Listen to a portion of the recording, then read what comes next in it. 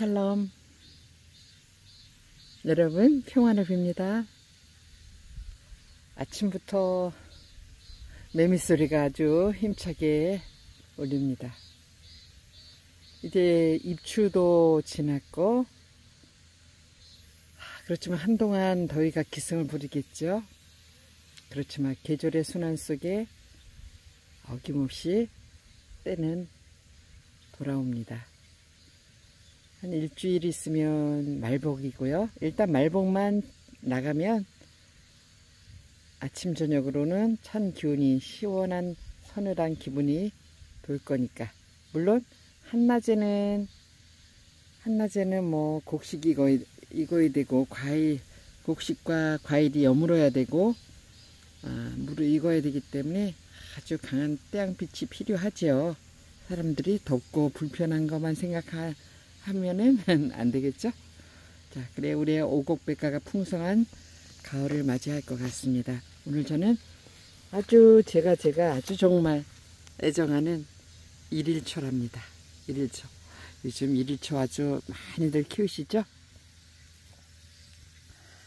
이 아이가 아, 심지도 않고 거두지도 않았는데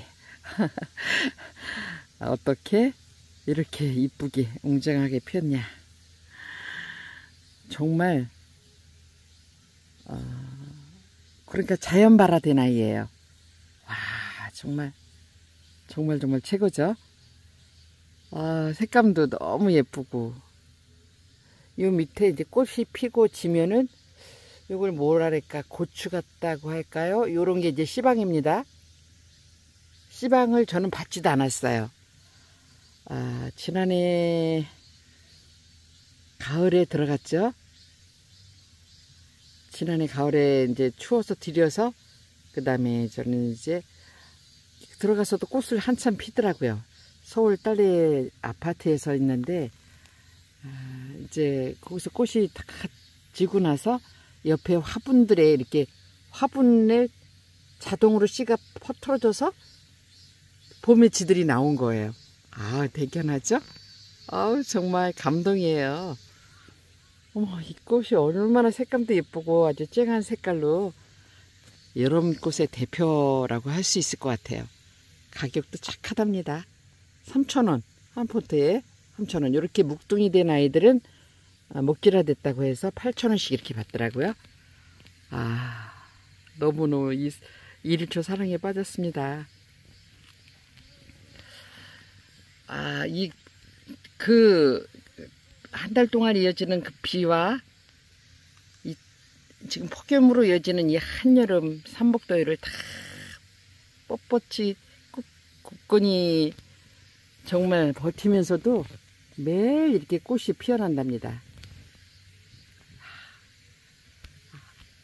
벌이 와서 지금 벌인가요?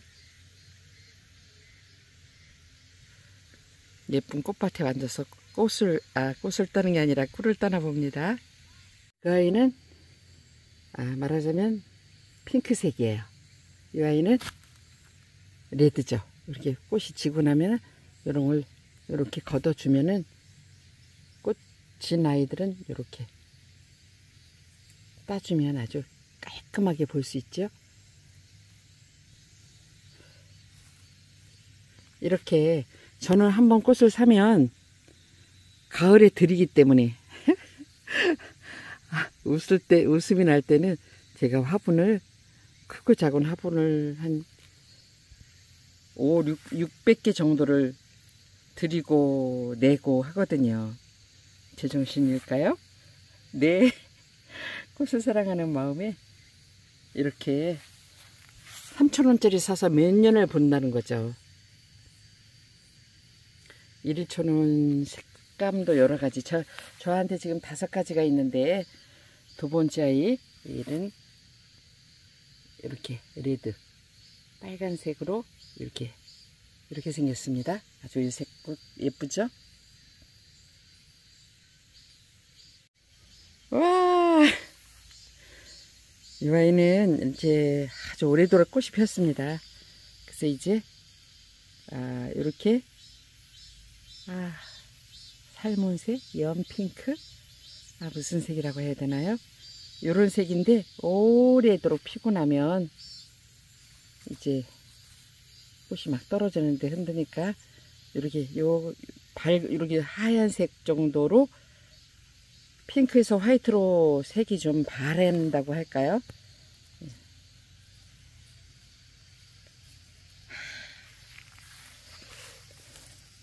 보세요. 걸음도 안 졌습니다. 물만 줬는데 세상에 이렇게 예쁜 아 이렇게 예쁜 꽃을 누가 만들었을까요?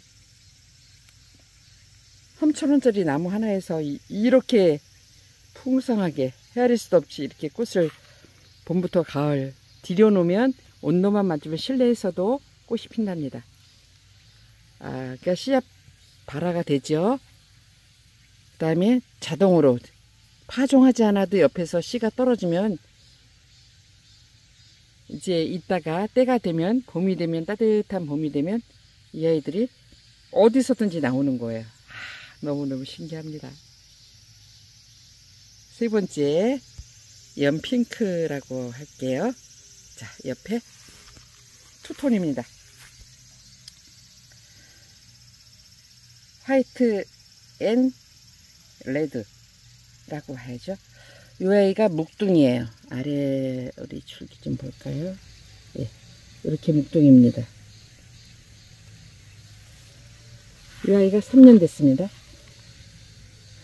어허, 너무 크게 숨었죠. 근데 꽃을 쉼 없이 피고 지고 피고 지고 옆에서 봐도 예쁘고 위에서 봐도 예쁘고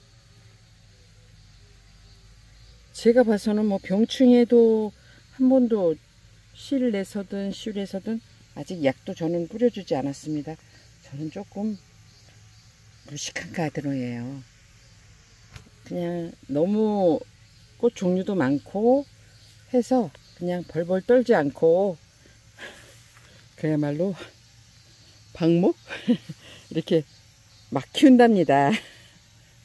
이렇게 해서 네 번째 보여드렸고요. 정원 한쪽에 이렇게 이렇게 너무 화사하고 너무 예쁩니다. 화이트 하얀 꽃인데 가운데 빨간 점이 백했죠. 이 아이는 아직 어립니다. 요새 하얀색이 너무 예뻤는데 제가 핑크색이 자연발화가 돼서 너무 많아서 저희 집에 한 50개는 되나 봐요. 저 지들이 그냥 나는 거예요. 제가 이 꽃을 정말 좋아하는데 가성비 짱이죠. 갑입니다. 갑. 왜? 새로 살 때도 3,000원이면 사고 그렇게 싼데 색감도 이렇게 지금 다섯 번째죠. 흰색입니다. 아, 이것도 이렇게 예쁩니다.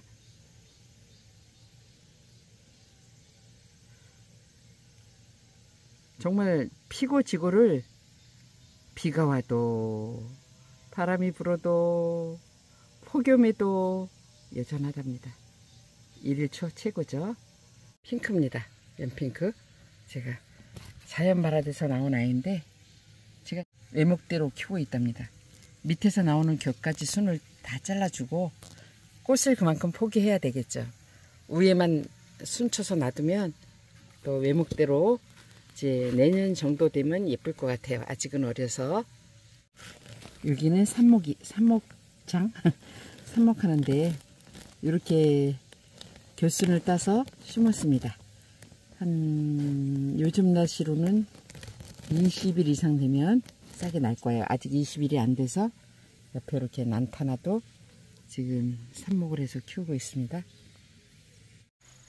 자연 씨앗 발화가 돼서 하도 여기저기서 또 나오고 나오고 해서 저는 지금 아, 요 화단 하나를 1일초 어이구 개나리가 있어서 1일초 밭으로 이렇게 지금 꾸미고 있습니다. 어디서 나오면 이게 다 갖다 옮겨 심고 있습니다. 아마 한 달 후에는 풍성한 1일초 밭이 될 것입니다. 이렇게 자연 발화율이 아주 높습니다. 와 최고입니다 정말. 그래서 지금 여기 화단 하나에 한 20개 이상 이렇게 심었습니다. 여기도 심고 저기도 심고. 여기 화분은 아, 지금 제가 그 아파트 베란다에서 씨앗을 채취해서 이 화분이 비었길래 어우 깜짝아 여기서 깨구리가 툭 피져나가네. 화분이 비었길래 제가 어, 씨앗이 뭐 보이지가 않으니까요. 여기다 하나 털어서 한번 놓고 제가 잊어버렸거든요 사실은. 어, 화분 나오는 길에 다 나왔는데. 아 뭔가 싹이 나더니 바로 일일, 일일초지 뭐예요? 이 아이들도 지금 여기 수없이 20개도 넘습니다. 씨앗 하나 제가 저기 빠서서 이렇게 화분 빈 게 있어서 놨더니 이렇게 자연 발화율이 뭐 100%입니다. 100%. 일일초 사랑합니다. 아, 마지막으로 저는 이제 일일초에 대한 산모 자연 발화돼서 아주 많이 지금 자라고 있는 거 보여드렸죠. 일일초는 요게 당년도에 나와서 이렇게 굵어졌죠. 어, 아주 풍성하게 건강한 아이입니다. 여기, 여기 제가 이제 이 가지를 여기서 몇 개 커팅을 해서, 어, 아시죠? 삽목은 뭐 한 5cm 정도 이렇게 하는데 저는 이제 아주 길게 쭉쭉 아주 자란 뻗은 아이들을 원목대로 키우고 싶어서 제가 지금 이제 짧게 안 하고 이대로 하려고 합니다. 일단 저는 어, 삽목보다는 물꽂이를 할 거예요. 지금 이제 여름이고 해서 아이고 물꽂이를 하는데 제가 이제 보시면 음, 꽃을 아래를 원목대를 하기 위해서 이렇게 길게 아, 한 20, 20cm 될 것 같습니다. 밑에는 다 순을 따줬고요. 요것이 핵심입니다.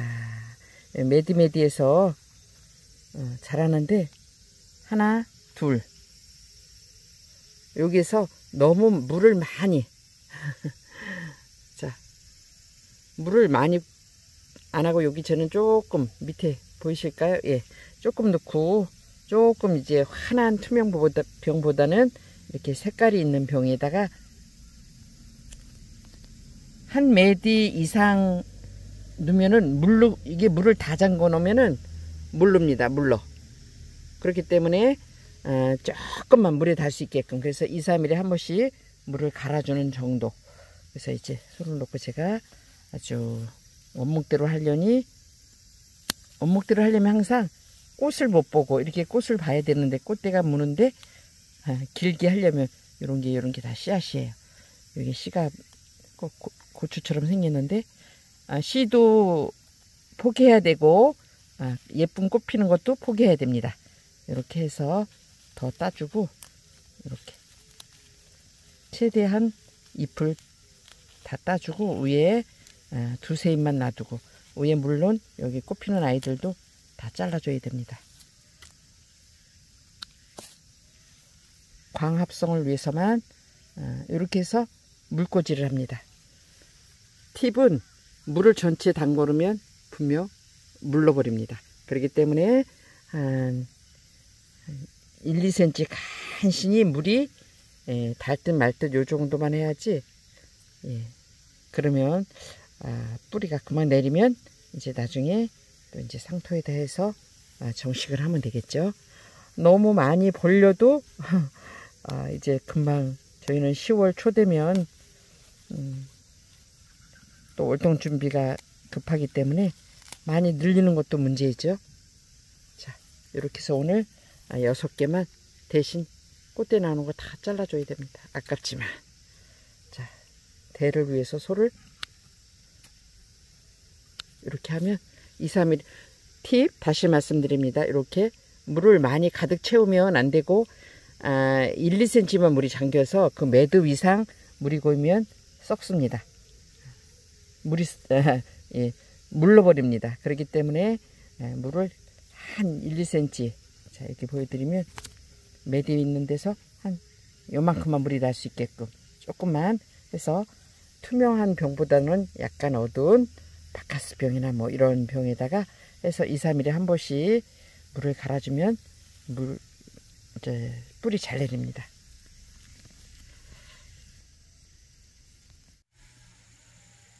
1일초 사랑은 끝이 없죠.